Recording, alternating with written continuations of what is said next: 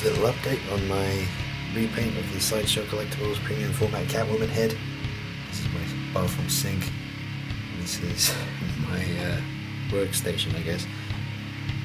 Anyway, here we go. All done. Repainted the eyes green. Uh, gave a thicker, thicker black eyeliner and a bit more eyeshadow. Red lips, and I glossed the lips and glossed the eyes to make them shine and look wet. So now she's much more to my liking. Green eyes, a bit more intense eyeliner, and the red lips.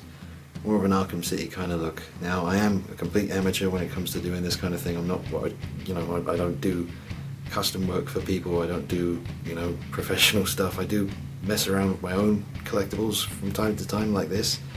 Uh, I just didn't like the blue eyes and you know just wasn't too keen on the overall look. So I thought I'd give it a try myself. I do know other guys like Stephen Morris and um, Brian, Too Many Figures, people like that who'd be able to do this for me, Nenny D, people like that. And sorry about that weird noise you're hearing in the background. I guess one of my neighbors is doing some drilling. But yeah, I mean, I just thought I'd do it myself. I've done some 1-6 scale sort of custom things like this as well. But I thought it would be easier to do. Oh, and I did paint that tuft hair black as well. The hair, that's black now instead of brown. Um, but yeah, every now and then I like to try and do something like this. I think it turned out okay. I can live with it, I'm happy. I'm glad I didn't screw it up too bad. Can't tell you how scary it was repainting the eyes and doing eyeliner and fine, fine, tiny sort of detail work like that is really scary. but I'm glad it's done. Anyway, I'll give you another little uh, another little update once this is back on the body. I just wanted to show you the repainted eyes and the lips and the hair, the eye makeup. Not perfect, but it looks good enough. I am happy with that. So there you go, guys.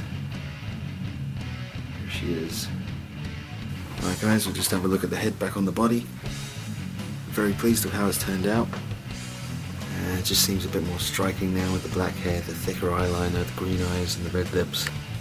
And the touch of gloss on the eyes and the lips to make things shine a bit. Just looks cool. Very happy. I don't think the green is really coming through on camera very well, but maybe in a second showcase video or something down the line, get a better look at them.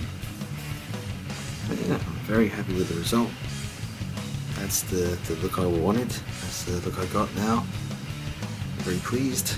I picked up a couple of Adam Hughes comics uh, from Orbital Comics up London yesterday for like £2 each. That was great. There was that one and that one. Yeah, that's how she looks. I don't think I'm going to do anything to this head. I just like the way it looks and I'll leave the lips alone. Don't want to risk messing that up. I'll leave that be.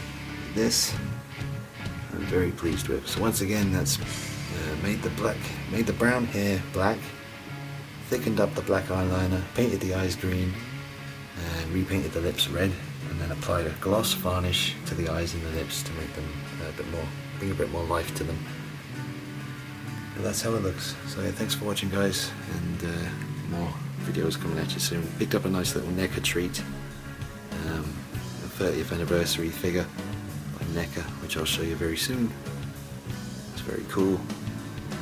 And uh, got a couple of other little Catwoman treats on the way in the next two weeks. One statue, one figure. And uh, obviously, let you guys see that as soon as they arrive. Alright, see you later.